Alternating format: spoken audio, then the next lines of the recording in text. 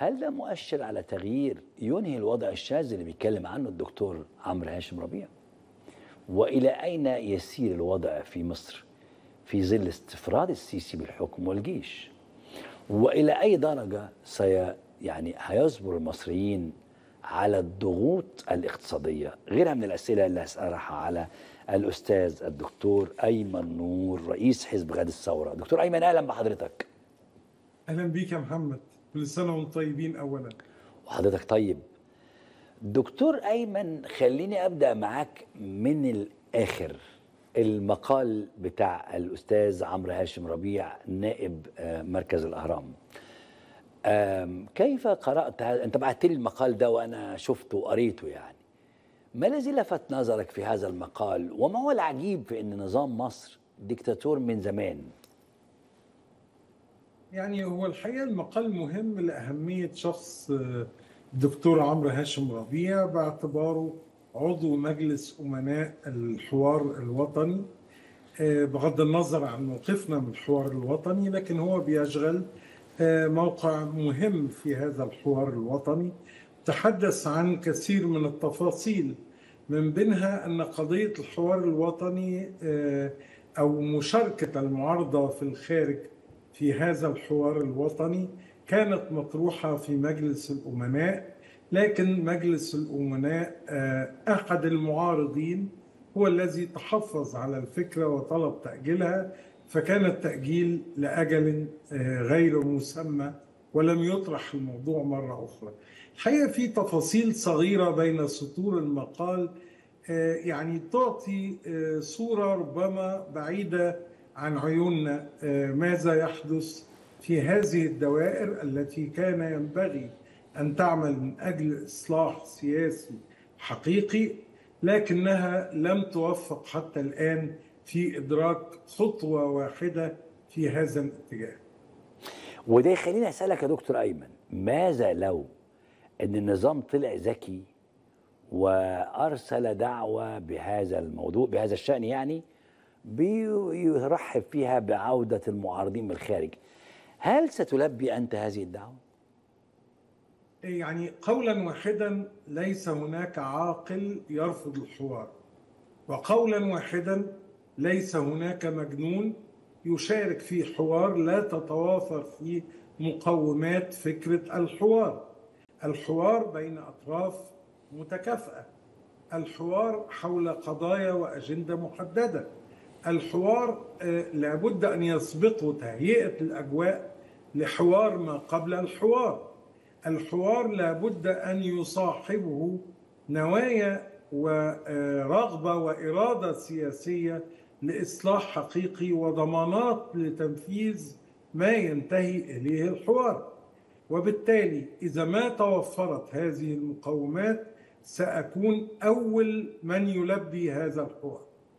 يعني نقدر نقول أن هناك ازمه ثقة ما بين المعارضة في الخارج والنظام كلاهما لا يثق في الآخر يعني لا شك إن إن عشرة سنوات من الممارسات القمعية آه، والأخطر في تقديري يا أستاذ محمد هو غياب المسار السياسي.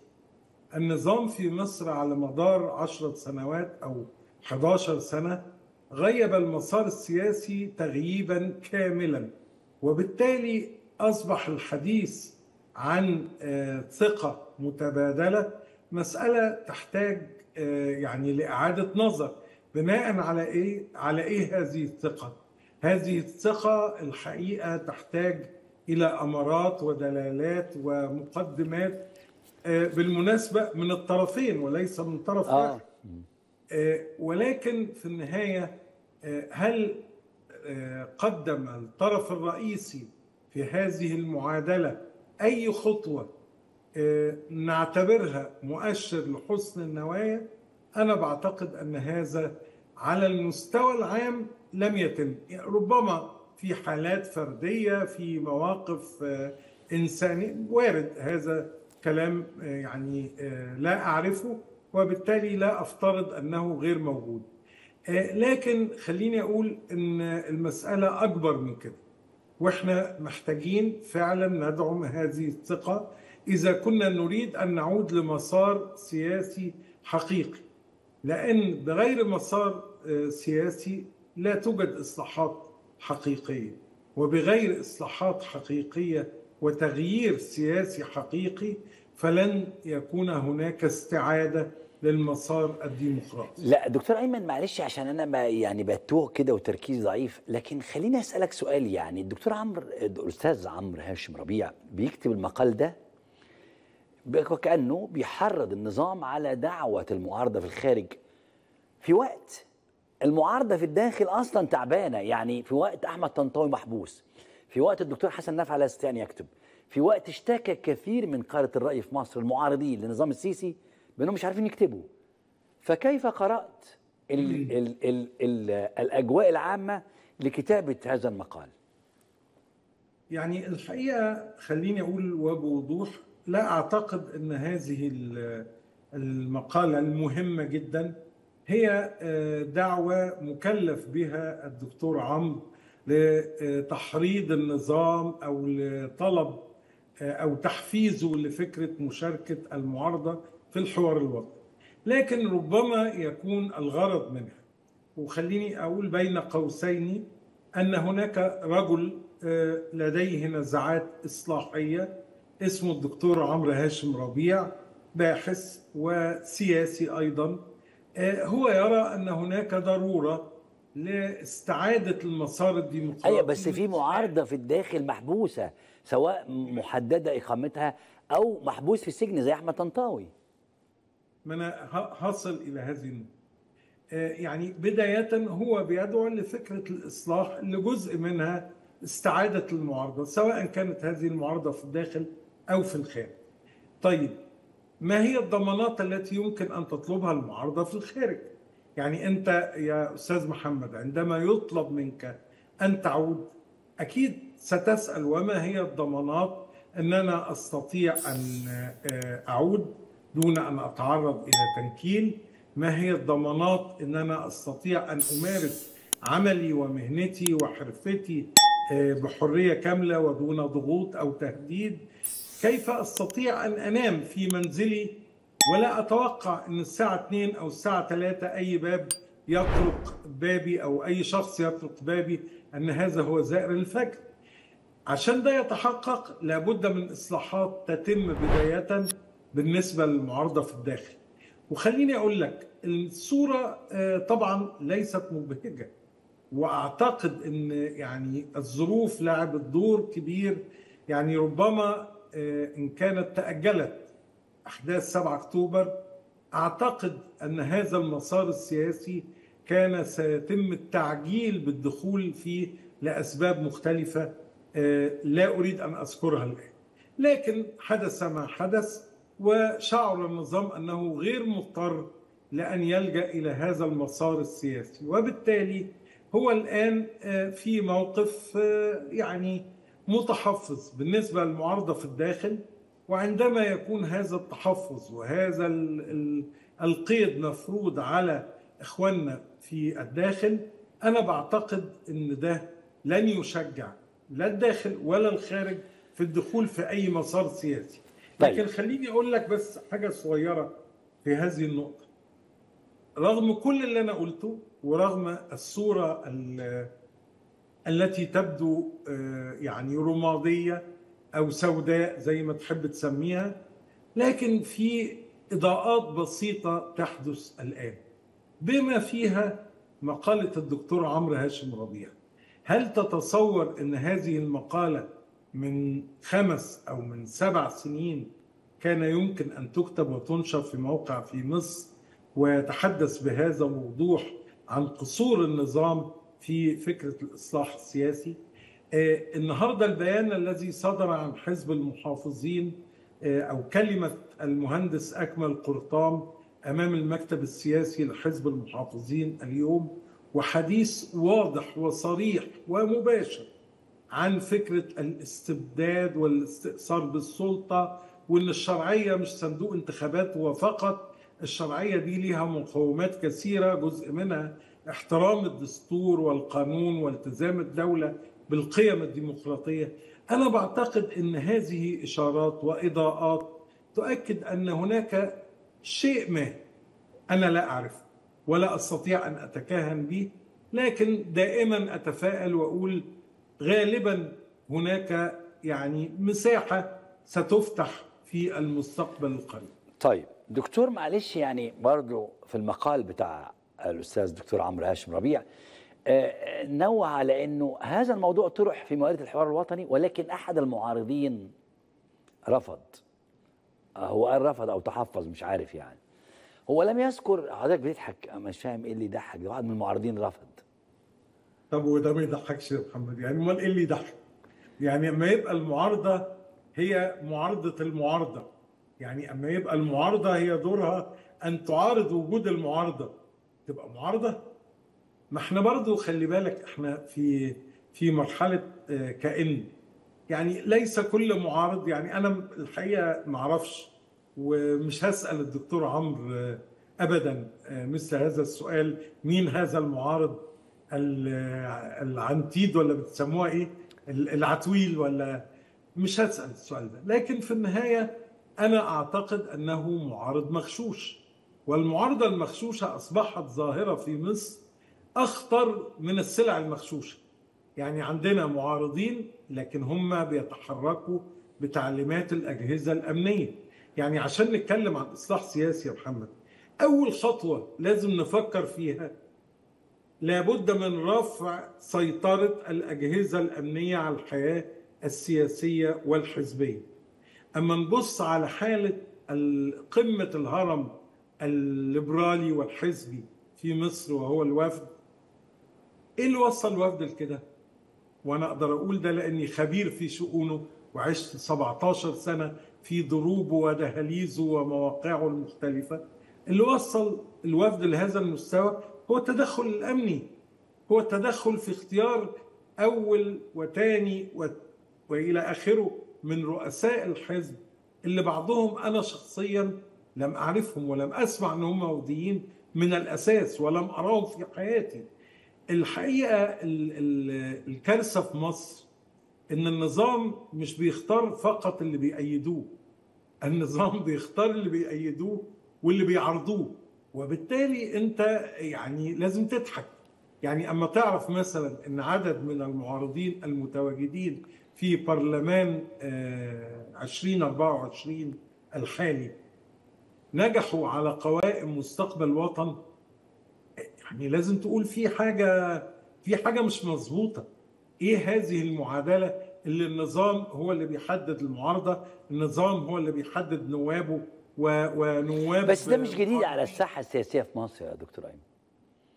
تأثير ده إيه؟ اللي هو ده إيه؟ ليس جديد هذا آه، المشهد ليس جديد. ليس جديد على الساحة السياسية في مصر وإحنا ألفناه من أيام السادات يعني. لا لا خليني أقول لك وأنا يعني عمري في العمل العام والحزبي والسياسي قرابة ال آه، ال 40 سنة ونيف ما كانتش ابدا الصورة بالشكل ده. كان في أشخاص لهم علاقة بالأمن. كان في أحزاب مخترقة من الأمن. دكتور أيمن معلش خليني اقطعك طيب. معلش معلش معلش حزب التجمع انضرب آه، أثناء مبارك يعني في أيام مبارك انضرب ب آه، اسمه إيه رفعت ده. انضرب بأسماء مش عايزين نجيب أسماء دلوقتي. أحزاب كتيرة جدا. حزب العمل انضرب أثناء آه، أيام مبارك. يعني المشهد ليس جديد. حزب العمل انضرب حزب الو- التجمع انضرب حزب الوفد محمود أباظة نعمان جمعة ما كل ده كان أيام مبارك. شوف كانت آه، تحركات سياسية آه، محاولات للاستقطاب محاولات لبث الفرقة. محاولات قفل حزب العمل سنوات و- لا، و- يعني- ووحدة شرطة جواه قاعدة تحت الباب. سنوات. هم بدأت القصة إزاي يا محمد بدأت بالفنان حمدي أحمد ثم الأستاذ أحمد مجاهد رحمة الله عليه آه، إن هم آه، يعني حدثت فرقة بينهم وبين مجموعة عادل حسين والأستاذ إبراهيم شكري آه، وكان في دفع من الأجهزة الأمنية لأن كان في شكوك أن الإخوان المسلمين سيدخلوا إلى حزب العمل ويعتبروه هو حزب الإخوان المسلمين. والحقيقة إن ده كان تفكير خاطئ من النظام تولد عنه ممارسات كثيرة خاطئة وبعضها كان إجرامي لكن كانت المسألة في حدود محاولات تنجح هنا تنجح في الأحرار. اتقفل الحزب يا فندم. ما هو كان بيعملوا إيه؟ بيعملوا الانشقاق ويوحوا لبعض الأطراف إن الدولة معكم والنظام معكم والرئيس يرسل لكم تحياته وتأييده ومساندته فالراجل يندفع. يدخل المعركة. يقوموا باعتين الورق للجنة شؤون الأحزاب. تقوم لجنة شؤون الأحزاب عاملة إيه؟ مجمدة الحزب. طيب. اللعبة حتى اللعبة دي كان فيها شبهة سياسة. اللي بيحصل النهاردة هو إدارة مباشرة من بعض الأجهزة لكل الحركة الحزبية أو إلا قليل. إلا قليل جدا. 90% من الحياة الحزبية هناك تدخل واختراق وتعليمات من الأجهزة الأمنية. يعني يعني عايز أقول لك أنا على بعض الجروبات في الداخل يا محمد ما بقاش يزعجني من كتر ما اتعودت إن مثلا قيادات حزبية مهمة وأسماء محترمة ده يقول لك ما هو التعليمات لسه ما جاتش. أصل إحنا منتظرين حفلة كذا هنعمل حفلة.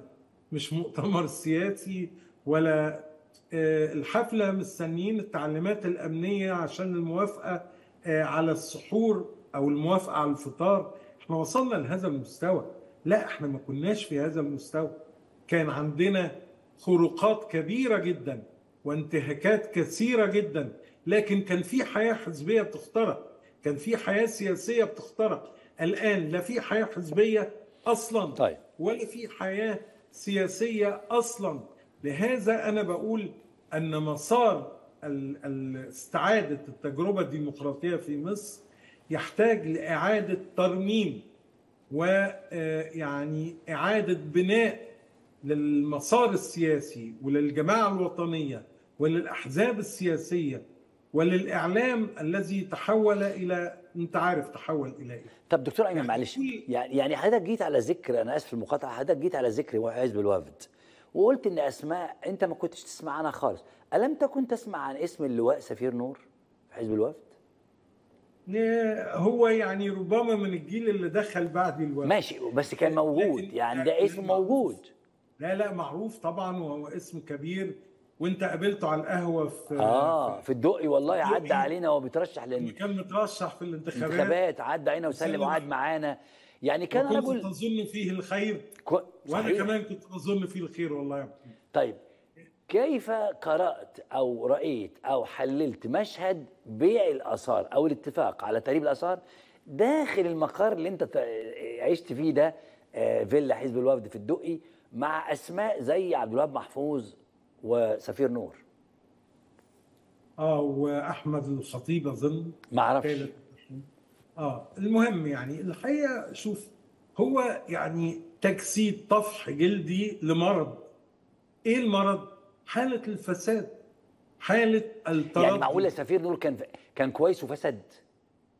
لا لا هي المنظومة فسد وبالتالي الفساد الشخصي يظهر. ما هو خلي بالك مرة حد بيقول لي يعني إحنا عايزين شخصيات وحد الحقيقة يعني كمان قريب من النظام.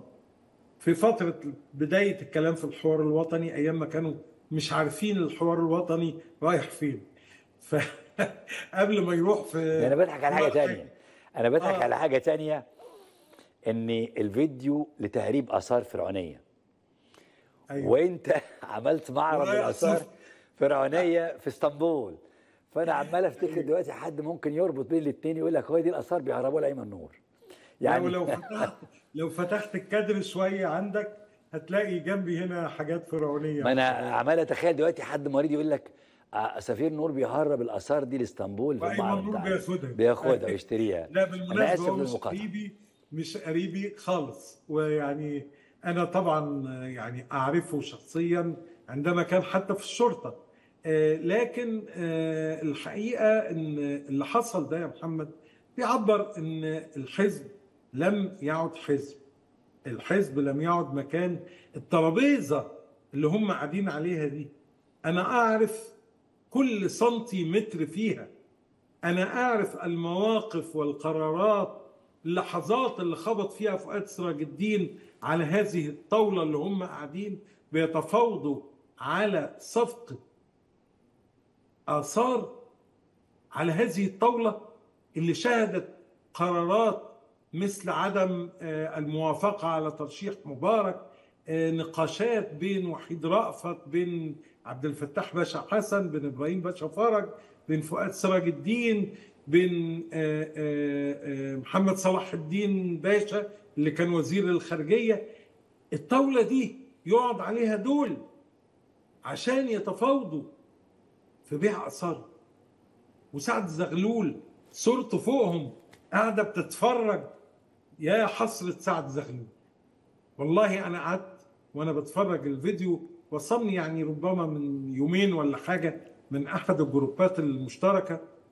آه، قعدت أبص لصورة سعد زغلول ومش قادر أركز في الكلام اللي هم بيقولوه. يا ترى سعد باشا شايف إيه في ولاده وفي الجيل الأخير من الوفديين؟ الحقيقة آه، شيء مخجل لكنه مش مستحيل. وأنا بقول اللي عنده اصل زي حزب الوفد اصل عمره أكثر من قرن من الزمن إذا فرط فيه فهو مجرم. وأنا بقول إن هذه ليست مسؤولية الوفديين هذه مسؤولية المجتمع هذه مسؤولية المثقفين هذه مسؤولية كل الوطنيين من الليبراليين ومن غيرهم. لأن الوفد ده جزء من تراث هذه الأمة وتاريخها. إن ينحدر إلى هذا المستوى انت تعرف يعني ده بالنسبة لي زي إيه المشهد اللي أنا شفته؟ ان مثلا تقول لي ان آه، في حفل راقص داخل الجامعة الأزهر مثلا يعني شوف إحساسك يبقى إيه؟ أنا بالظبط هذا الإحساس تملكني وأنا أسمع هذا الحوار المخجل طيب نروح إلى ال- التغييرات اللي كنا بنتكلم عليها. كيف تفسر الغرض من نشر صورة وزير الدفاع السابق بزي مدني مع وزير الدفاع الحالي؟ وهل هذه الصورة أسكتتكم كمعارضة مأجورة؟ ادعيت أن هناك معلش اضطر يعني أنا مضطر أبقى سامسونجي شوية يعني. معلش. آه هل هذه الصورة أسكتت المعارضة المأجورة في الخارج التي ادعت أن هناك حالة من الغليان داخل القوات المسلحة وأن السيسي كان يخشى من انقلاب عسكري كان يعد له آه أو يعد له محمد زكي مع آخرين؟ يعني أنا شخصيا أعتقد أن محمد زكي ليس القوات المسلحة يعني على الإطلاق. وأعتقد أن ظهوره في المشهد بالملابس المدنية أمر طبعا متوقع لأني لا معلوماتي م- خلينا نقف عند المصطلحات. متوقع ولا تم ترتيبه؟ متكرر هو ترتيب متكرر. والمشهد ده أما تشوف أيام طنطاوي بعد عزل طنطاوي وهتشوف لقاء طنطاوي مع السيسي أما كان هو وزير الدفاع. لا بس ما شفناهوش في صدق صبحي. آه لا ما هو الصدق صبحي يعني الحقيقة ما كانش آه إيه الحالة ما كانتش بالصعوبة بتاعة المشهد بتاع سامي عنان و وطنطاوي آه الإخراج ده الحقيقة متوقع. وأنا بعتقد وأنا بتكلم عن معلومات مش عن توقعات. أنا بعتقد بناء على معلومات أنه لم تكن هناك أزمة على الإطلاق بين آه، عبد الفتاح السيسي وبين محمد زكي. ربما كان هناك أزمة مختلفة مع مستويات قيادية مختلفة. زي ما أقدر أقول لك إن ما كانش في أزمة عند السيسي وهو وزير دفاع مع طنطاوي ولا عند طنطاوي مع السيسي أما بقى هو وزير الدفاع. الأزمة كانت عند سامي عنان والأزمة المرة دي غالبا عند أسامة عسكر. هتقول لي إيه الأزمة؟ أنا والله ما أعرفش. لكن معلوماتي أن وزير الدفاع هو الذي تقدم من تلقاء نفسه منذ أكثر من ستة أشهر بطلب باعفائه من ال- الوظيفة أو الموقع الوزاري لأسباب صحية ويعني نتمنى الشفاء طبعا للجميع. آه، لكن إخراج المشهد الغريب جدا ليه لغاية آخر لحظة أما الراجل معتذر ليه يتحط اسمه كوزير دفاع ليه في البروفا اللي اتعملت وخلي بالك هما بيعملوا بروفا لقسم اليمين عشان فيش وزير وهو داخل الكعبل وأظن حتى في وزير من الوزراء أما دخل شالوا السجادة. يعني في صورة كده السجاده في النص وكل الناس بتحلف اليمين. في وزير معين وهو داخل شالوا السجادة. ما أعرفش ليه. آه، أكيد أنت عارف. فبيعملوا بروفا لا عشان هو ليه سوابق في موضوع السجاجيد. ف لا ما أعرفش والله أنا ما أعرفش. يعني راجع ما نشر عن أحد الوزراء. عندما كان سفيرا في أحد البلدان. بدر عبد العاطي آه، آه قصدك عشان سرق السجادة بتاع ال بالظبط.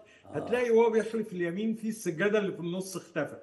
مش عارف بقى ده. المهم يعني عايز أقول لك إن كان في بروفا قبلها بيوم. وده معتاد. قبل قسم اليمين بيوم بيجيب الوزراء من غير الرئيس. لكن بيجوا يعملوا يمثلوا المشهد ويقروا الورقة ويروحوا.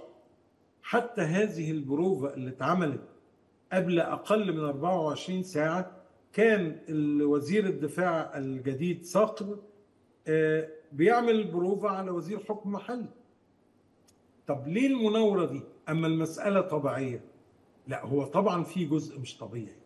طبعا في جزء في على الأقل جزء حدث من الخلاف بين آه، الفريق أسامة عسكر وبين السيسي حدث آه، خلاف في مرحلة سابقة تدخل فيه المشير طنطاوي في الوقت الذي تدخل فيه أيضا المشير طنطاوي للإفراج عن سامي عنان.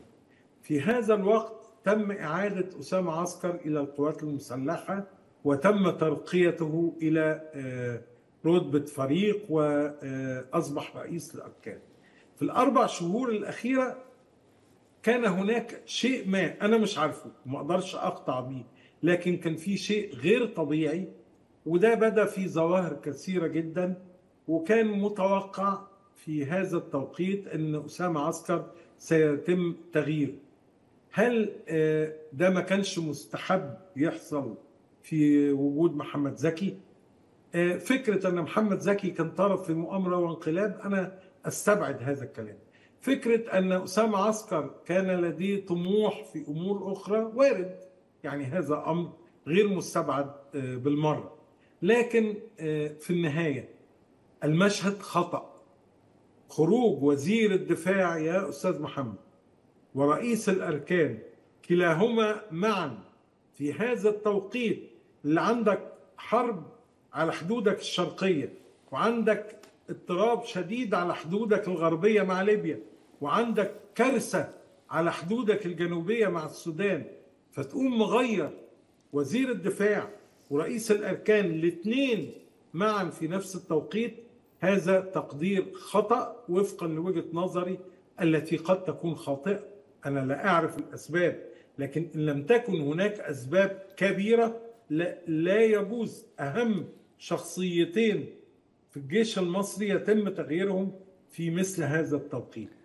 وكمان الغريب شوية إن أنت بتجيب حد من خارج المنظومة يعني أنت مش جايب آه، آه، رئيس أركان كان نائبا لرئيس الأركان أو كان داخل مطبخ العمليات في هذا التوقيت لا أنت بتجيب حد كان محافظ السويس وخرج ولم يكن ورقيته مصر- رقي- ترقيتين سريعا عشان يبقى آه وزير دفاع. أنا بس الوقت بيجري قدامي وأنا عندي أسئلة كتير قوي. من الأسئلة. اللي عايز أسألها لحضرتك هو بس هنيجي لوزير التعليم بعد كده لكن ما الفائدة إن مصطفى بكري يطلع يقول ال- الحكومة دي قدامها سنة وتستقيل عشان في انتخابات برلمانية يعني هل يجوز إنه تعمل حكومة قعدت كام أسبوع تتفاوض مع شخصيات ثم تقسم الحكومة القسم ثم فجأة بعد سنة هتستقيل ما الداعي يعني ما الداعي لكل هذه الع... أو لهذا المشهد الهزلي أصلا. يعني والله دي بشرة خير من الأستاذ مصطفى بكري نشكره عليها. ولو آه، قرب شوية الانتخابات البرلمانية وأعتقد إن هي هتقرب عن سنة فيبقى هنخلص من الحكومة دي قبل السنة. آه، هو اللي بيقوله صح وغلط. ليه؟ صح لأن مع كل انتخابات برلمانية أو رئاسية المفروض إن بتشكل حكومة جديدة. وغلط إن مش بالضرورة تكون جديدة بدلالة إن ربنا أكرمنا للمرة الثالثة ولا الرابعة بمصطفى مدبولي رئيس وزارة. فممكن بعد الانتخابات البرلمانية نكلف مصطفى مدبولي برضه.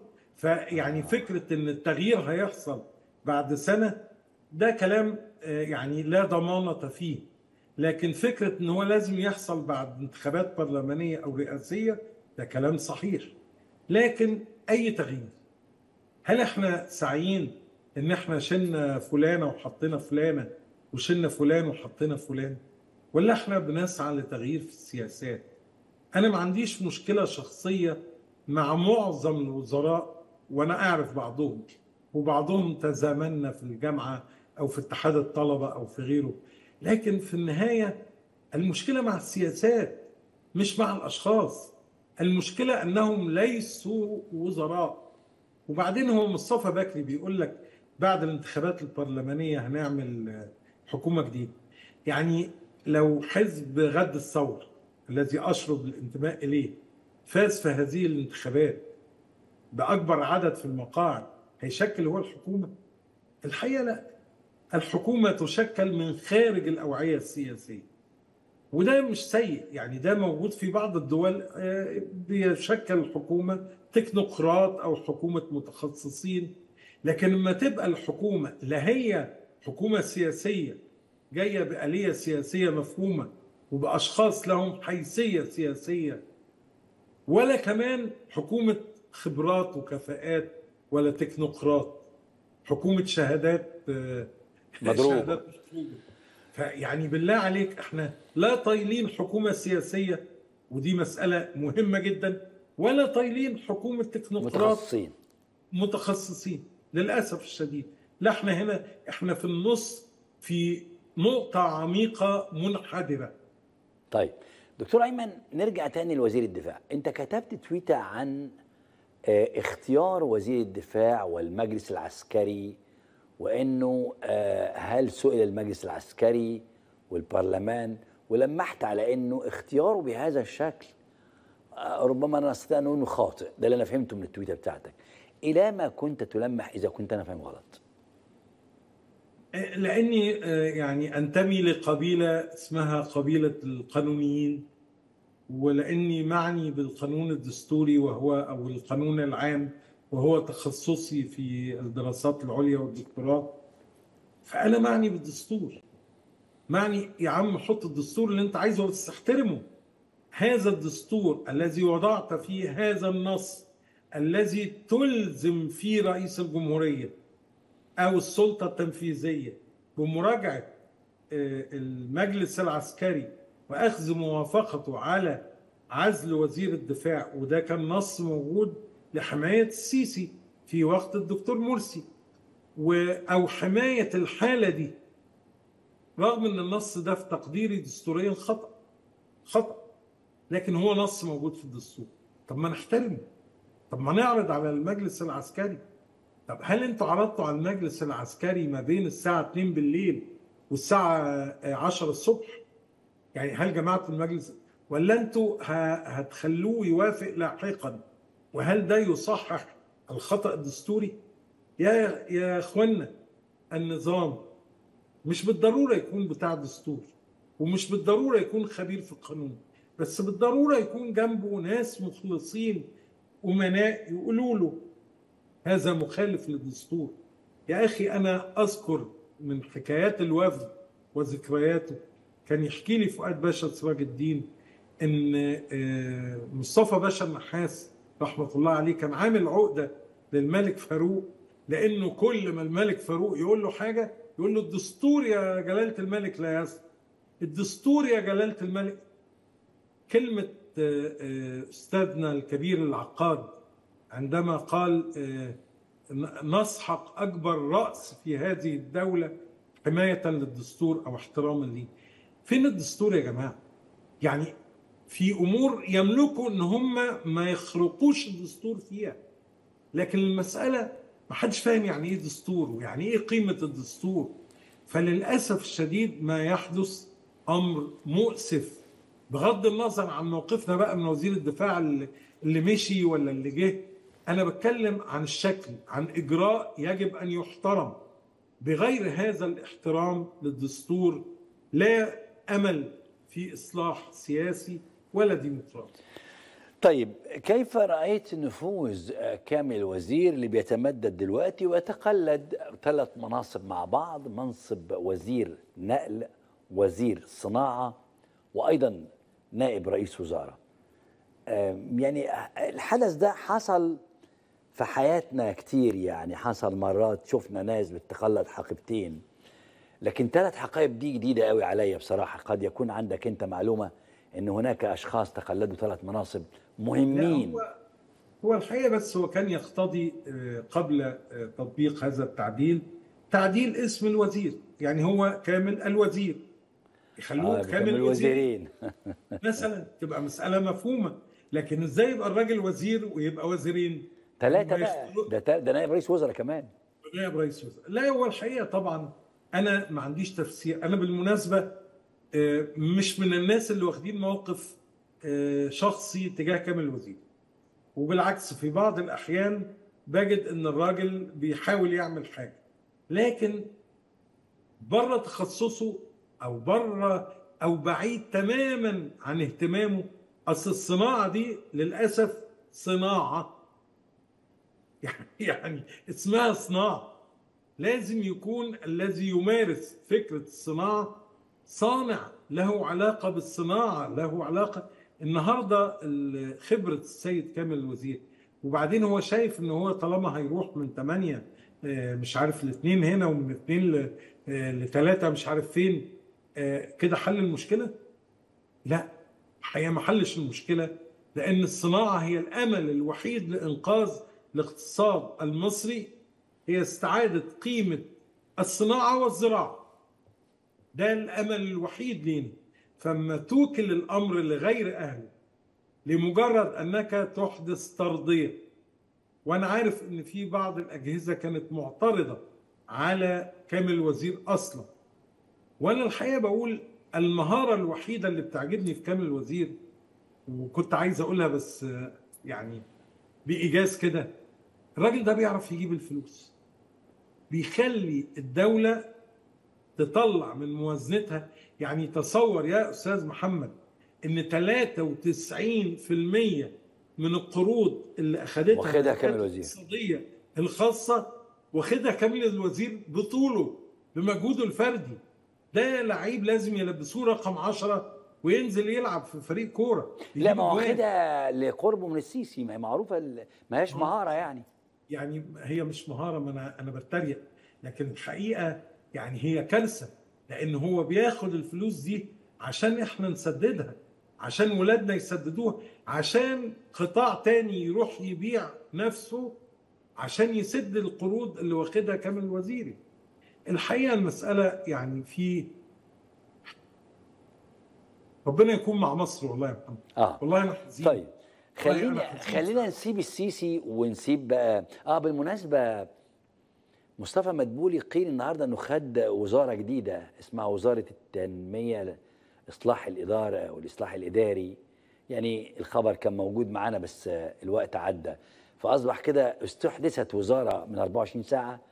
اسمها وزارة التنمية حاجة كده. يعني أنا ما أعرفش عندنا وزير التنمية أي محلية حاجة.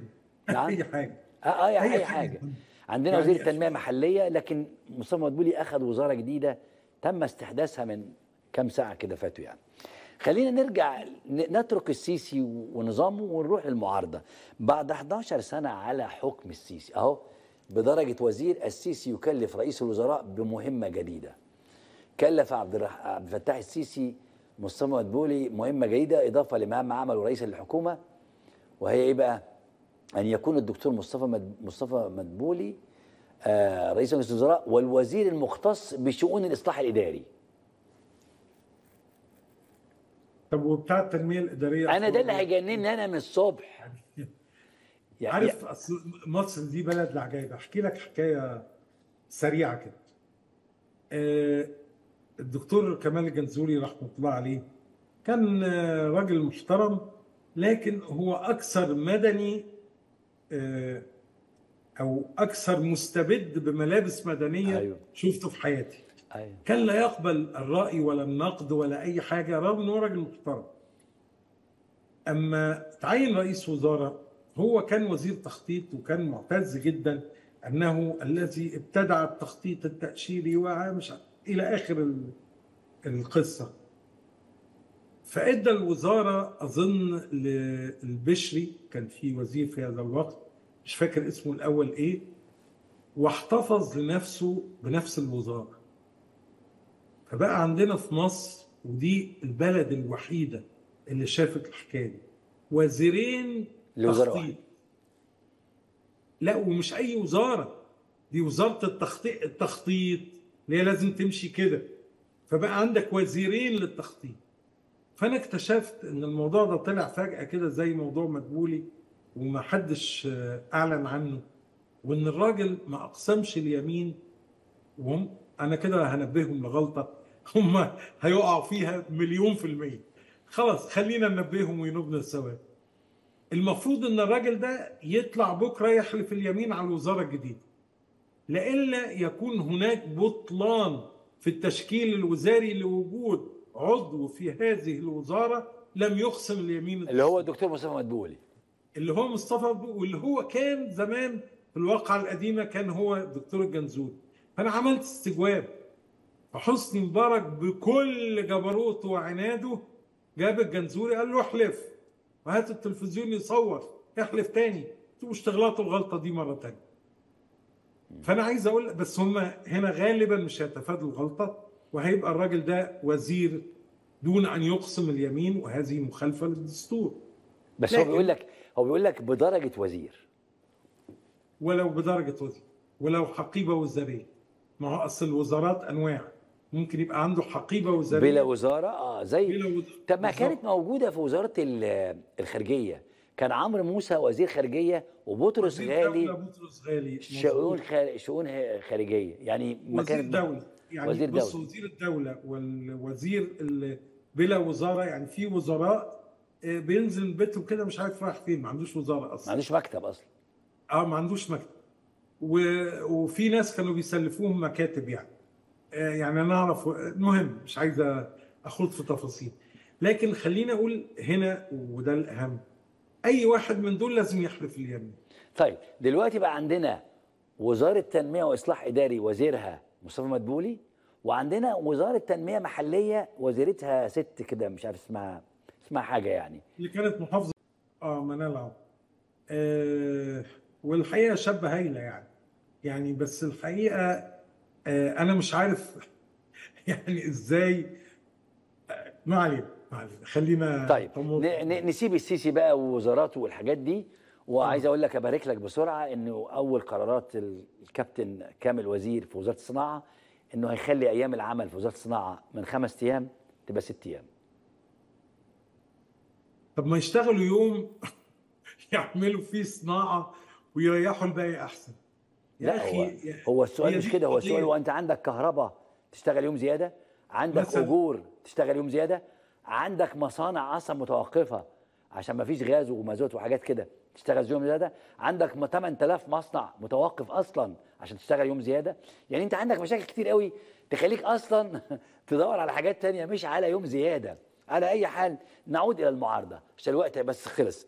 11 سنة على حكم السيسي ألم تكن هذه الفترة كافية في تجميع المعارضة وتطوير أدائها خارجيا؟ بنتكلم عن المعارضة في الخارج. يعني طبعا الحقيقة آه، سؤال في محله وكان ينبغي إن المعارضة آه، سواء في الخارج أو في الداخل أن تحافظ على وحدة مكوناتها.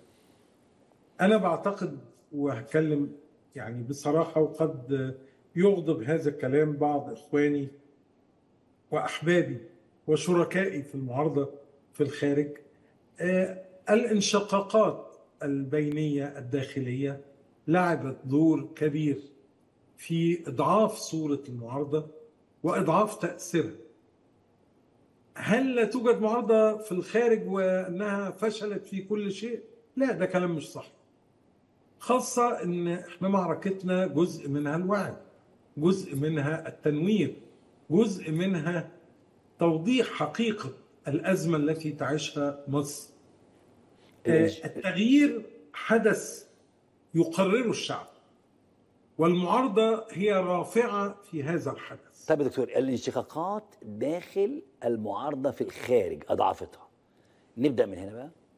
آه، بين فريق من المعارضة عشان يبقى الكلام أوضح لا ما تسميه.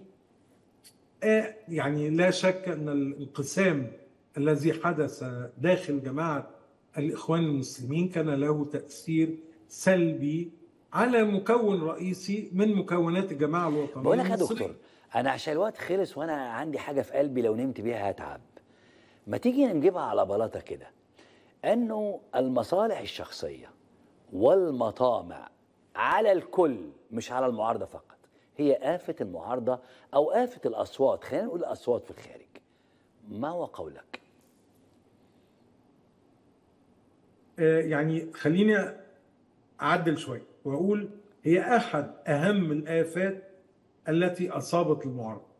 لكن هناك آفات أخرى. وهناك زي آفات إيه؟ زي إيه؟ طب ماشي. زي إيه؟ آفات أخرى زي إيه؟ الانشقاقات. ما هو إحنا بنقول الانشقاقات دي سببها البحث أو الجري وراء المطامع الشخصية وراء المكاسب الشخصية. آه، في بعض الأحيان. لكن و- في هو أنت يا دكتور ليه لازم آه يعني انشقاقات حدثت داخل ال- الأصوات؟ وأنا عندما أقول أصوات لا أتحدث عن المعارضة فقط ولكن أتحدث عن الجميع. بما فيهم أنا عشان نبقى على بلاطة كده. البحث عن المكاسب الشخصية إلى أي مدى أضعف الأصوات في الخارج. طيب خليني أقول لك إيه تاني؟ هو في تاني؟